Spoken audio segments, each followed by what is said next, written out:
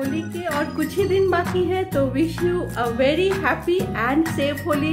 रंग खेलिए पर, सेफ्टी का ज़रूर ध्यान रखिए। और हाँ खूब अच्छे अच्छे डिशेस बनाइए और फ्रेंड्स और फैमिली के साथ जरूर शेयर कीजिए तो आज मैं शुरुआत करूंगी छेना का मालपुआ से ছানার মালপোয়া যেটা খুবই সুস্বাদু হয় একবার ট্রাই করে অবশ্যই দেখবেন তাহলে চলুন আর দেরি না করে বানিয়ে ফেলি ছানার মালপোয়া ব্যাস ঘরেই কিছু যা জিনিস থাকে সেই দিয়েই হয়ে যাবে ছানা আপনি দুধ দিয়ে ঘরেই কাটিয়ে নিতে পারবেন আর ব্যাস একটু ময়দা সুজি এই দিয়েই বানিয়ে নেবো ছানার মালপোয়া तो चलो आज देरी ना करे शुरू कर दी छानार माल तो छेना का मालपुआ बनाने के लिए हम देखिए एक कप से थोड़ा सा कम छेना लिए हैं जितना छेना लेंगे हम उतना ही मैदा लेंगे छेना को हम ये मिक्सर के जार में डाल लेंगे अब इससे क्या होगा? इसमें बनाएँगे, हम हाथ से भी इसको मिक्स कर सकते हैं, लेकिन इसमें डालेंगे तो बहुत स्मूथ बैटर और इजीली हो जाएगा। इसलिए हैं तो उसी से हमने एक एक कप मैदा भी ले लिया।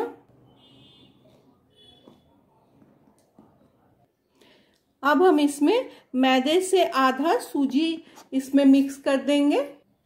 और अब देखिए अब देखिए, हमने जितना मैदा यूज़ किया था, उतना ही हम इसमें दूध मिला देंगे। मिला के इसको ब्लेंड करेंगे, फिर इसकी जितनी कंसिस्टेंसी मतलब ज़रूरत है, उस हिसाब से हम दूध या पानी भी मिला सकते हैं। दूध मिलाने से अच्छा अब हम इसको अच्छे से मिक्स कर लेते हैं। अब हम इसमें डालेंगे एक चम्मच सौंफ, कुछ ब्लैक पेपर के दाना और थोड़ी सी इलायची।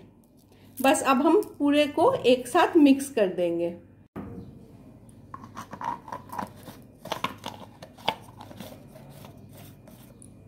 देखिए, मिक्स करने के बाद ये थोड़ा सा जैसे टाइट लग रहा है तो हम इसमें थोड़ा सा और मिल्क डाल के इसको फिर से एक बार चला लेंगे।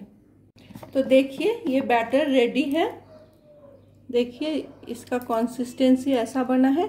एकदम परफेक्ट है। अगर थोड़ा सा ठीक लगेगा तो हम दूध मिला सकते हैं, पर ये कंसिस्टेंसी एकदम परफेक्ट है। तो देखिए, इसकी कंसिस्टेंसी ऐसी होनी चाहिए।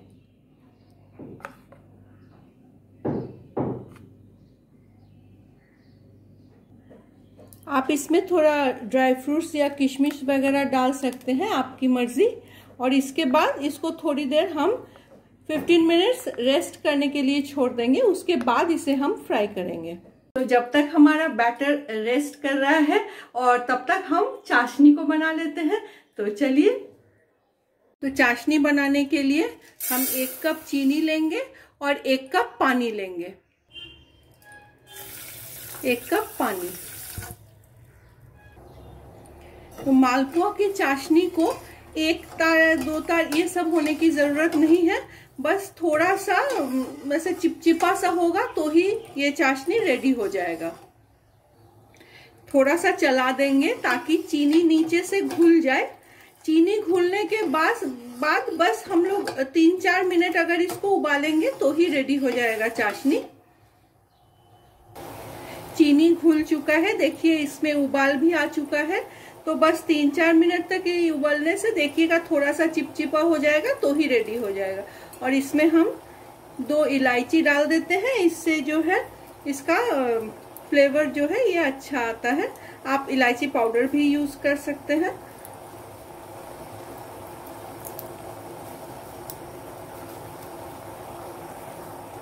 तो देखिए, तीन चार मिनट उबल चुका है। और थोड़ा सा ये ऑयल थोड़ा ज़्यादा ही डालेंगे। आप कढ़ाई में भी इसको फ्राई कर सकते हैं। तो ये देखिए रेस्ट करने के बाद बैटर का ऐसा कंसिस्टेंसी आया है। तो हमारा बैटर रेडी है, एकदम परफेक्ट कंसिस्टेंसी अब फ्राई करने की बारी। अब देखिए, अब इसको हम ऐसे डालेंगे।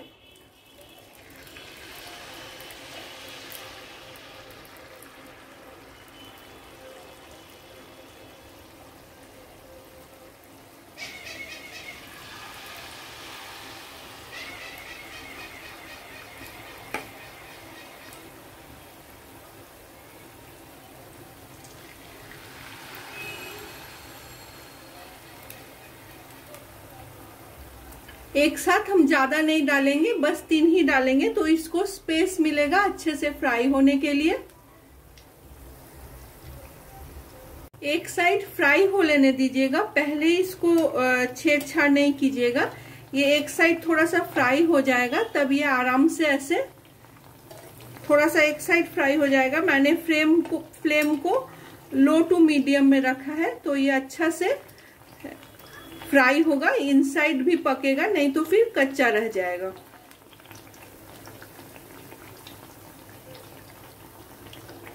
देखिए, एक साइड इसका फ्राई हो चुका है तो हम धीरे से इसको पलट देंगे। देखिए कितना सुंदर गोल्डन कलर ऐसे हम पलट देंगे, फिर इसके दोनों साइड्स जो है फ्राई हो जाएँगे। तो देखिए, गरम रहते रहते चाशनी में डाल देंगे। तो इसका रस जो है इसमें अब्जॉर्ब कर जाएगा अच्छे से। तो इसी तरह हम और भी पुए फ्राई कर लेंगे बैचेस में। एक साथ फ्राई नहीं करेंगे, फिर अच्छे से फ्राई नहीं होगा। और जो हमने छेना जो बनाया था ना, वो मैंने घर पे ही बनाया था। आप दूध को नींबू से या दही से या विनेगर से किसी से भी उसको ये करके छेना बना लीजिएगा और छेना का जो है पानी थोड़ा सा जैसे झड़ने के लिए छोड़ दीजिएगा, फिर उसको यूज़ करिएगा।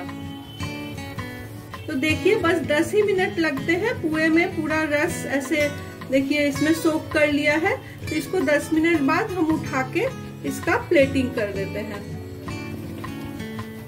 आप ये छेना से जो है पुआ बनाकर देखिए। ये बहुत ही सॉफ्ट और बहुत ही अच्छा लगता है।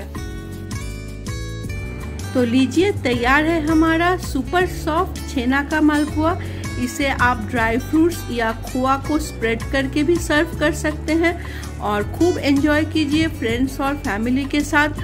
तो आज तक के लिए इतना ही। मिलती हूँ फिर नेक्स्ट वीडियो में।